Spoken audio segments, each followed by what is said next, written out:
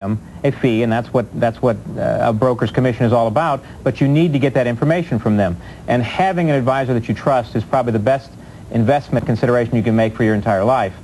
In terms of the assets, the 10 to 15,000, I would look for a good solid set uh, family of mutual funds that allows you the room to move in and out of uh, a fund if you decide that you're nervous in one area of the market or another. But with $10,000, even 10, even uh, $5,000, you can diversify over three or four funds and I would start that way and then just add to each of those positions. And he's 35, so... Plenty of time. Uh, uh, he'd he'd uh, err on the side of, of, equities at this point? I would definitely err on the side of equities. Okay.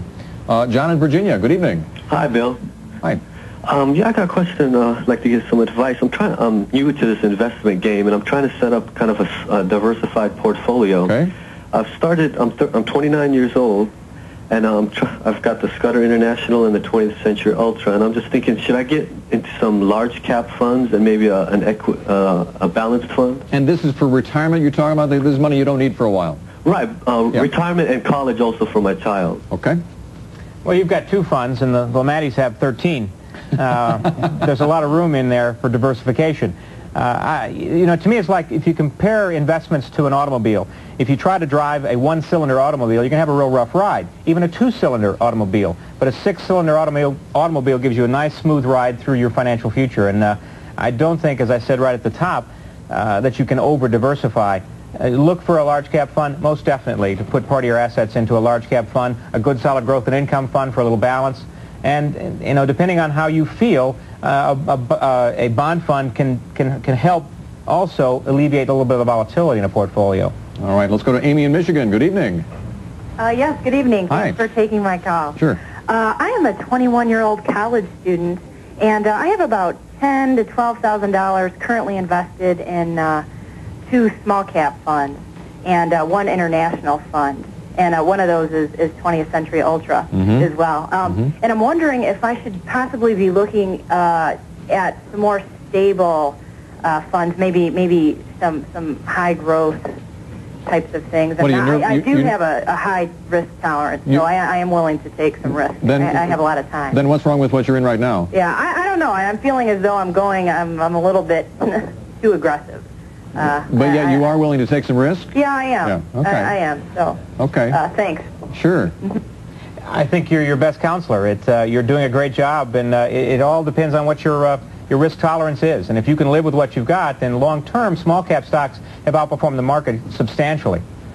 Uh, it, it, it's, it's the old adage, if you can sleep at night, you're doing okay, right? Right. Um, uh, and for heaven's sakes, you're 21, Amy.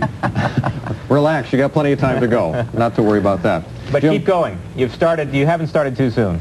Jim, thanks very much for your efforts and uh, on the behalf of the Lomatis as well. We appreciate that as well. Thank you. And to Ruth and, and Gordon, go out and enjoy yourself too. Don't just sit there and read all the magazines. And, uh, we don't mind you watching television, but uh, get out and, and, enjoy life too. I've got to put trust in people like Jim. Let okay. them take all. You got it. Right. Ruth and Gordon Lomati also joining us, and James Salners, Senior Vice President and Retail Sales Manager of AIM Distributors based in Houston, Texas. Now, if you're interested in participating in Family Night, you can drop us a line detailing your current financial situation. It doesn't matter if you've never invested before or if you're just uh, looking for a little direction. Be sure to include your name, address, and telephone number. Send your letters to that address uh, in beautiful downtown Fort Lee, New Jersey, 07024 is the zip code. Be sure to join us tomorrow night, Heavy Hitter Night. It is your chance to hear from and talk to some of the industry's movers and shakers. You'll uh, it won't cost you a thing either. You know, the, the, phone call's on us. Joining us tomorrow night, John Ballen, Director of Equities at Massachusetts Financial Services. He'll tell us why he's bullish on the entertainment, gaming, and healthcare services sectors. And Gordon's going to go out and invest in them after that, I know. Uh, plus, we'll take your calls tomorrow night. And Jimmy's going to be with us as well on Friday night, 7 o'clock Eastern Time here on Your Portfolio. Do we have time? Yes. Let's go find out what's happening with Sue Herrera and Janice Lieberman for tonight's edition of Money Tonight. Ladies? Thank you, Bill. Coming up next on Money Tonight, it's one of the few American success stories in Japan. We'll tell you how the American fishing industry is reeling in profits from Japan's love of tuna. And we'll also talk about food stamp fraud. It's a $2 billion business, and it's thriving, unfortunately, in earthquake-ravaged Southern California. We'll have that story for you as well next on Money Tonight. Back to you, Bill. Thank you. We'll see you in a few minutes. And we'll see you tomorrow night. Thank you for joining us on Family Night. It's becoming my favorite night as well. I'm Bill Griffith. Good night, everybody.